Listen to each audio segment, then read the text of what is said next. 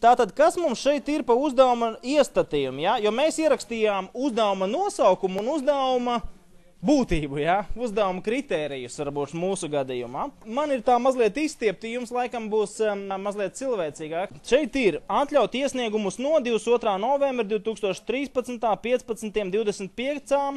un šeit ir iespējot ķeksīt. Ko tas nozīmē? Tas nozīmē, ka tikai no tā datuma šis uzdevums ir pieejams.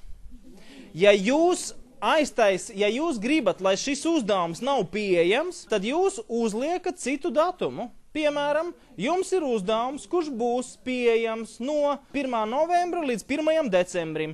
Tad jūs varat šeit izrediģēt atļaut iesniegumus no, no 1. novembra izpildes termiņš līdz 1. decembrim.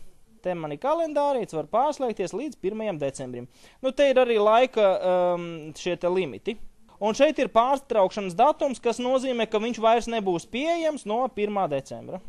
Te ir mazliet, es teiktu, kā atgādna tā sistēma, ja citās mudlēs, piemēram, šāda varianta nemaz nav. It kā sanāk divreiz tā kā beigšanas datumi, bet saprotiet, ehm, šeit atkal ir filozofiski jāsaprot, kas mums tiek prasīts.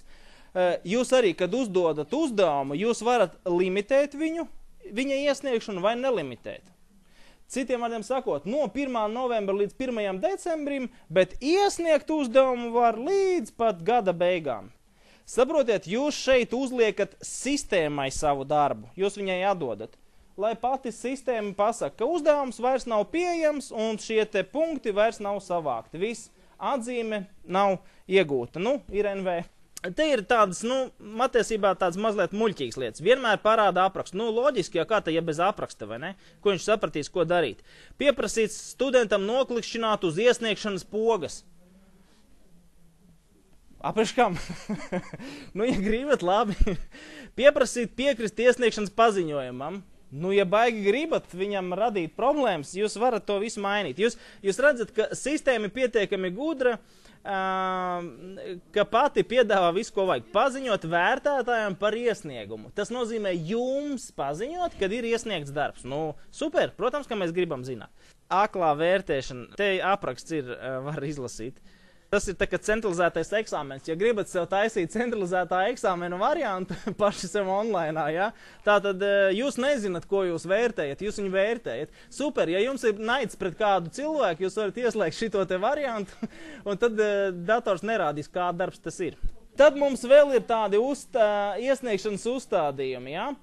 Un tagad gan ir eh, šis te ir princips jāsaprot ko mēs gribam. Vai mēs gribam iesniegt failu vai nē? Nu, protams, mēs jau tāpēc arī šo te uzdevumu uztaisījām, lai cilvēks mums iesniedz failu, vai ne?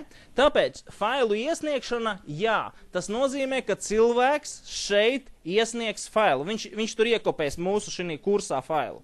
Nu, ja baigi gribās, varat arī nē.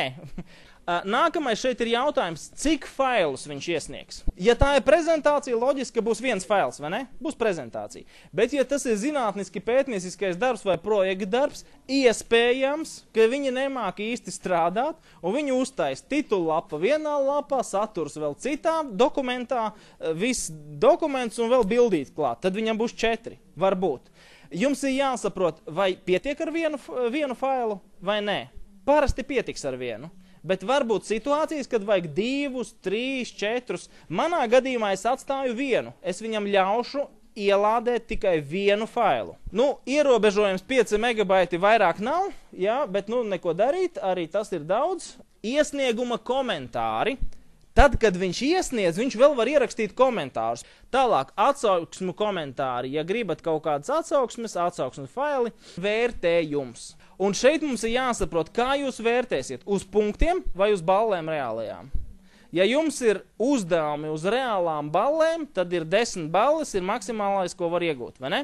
Bet manā gadījumā sanāk tā baigi interesanti, ja mēs tā paskatāmies pēc kritērijiem. Man ir kritēriji, un es esmu ierakstījis 1 punkts, 2 punkti, 2 punkti, 1 punkts. Kopā cik tas ir? 6 punkti. Kā es varu dabūt 10 balvas? Ja? Esiet uzmanīgi un tagad izdomājiet, vai nu jūs kritērijus piedzenat pie desmit ballēm, tā lai būtu saprotams. Vai nu arī jūs neliekat tur lejā balles, tie ir punkti. Nu, kaut kādi imitēti punkti. Manā gadījumā, tāpēc es nelieku balles desmit, es ielikšu sešus punktus. E, tad uzreiz saprotiet šajā brīdī, šeit, kur ir vērtējums, es nelieku simts, es uzlikšu seši.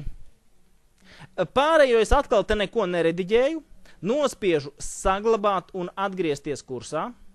Un es esmu uztaisījis savu uzdevumu. Es esmu uztaisījis tagad uzdevumu.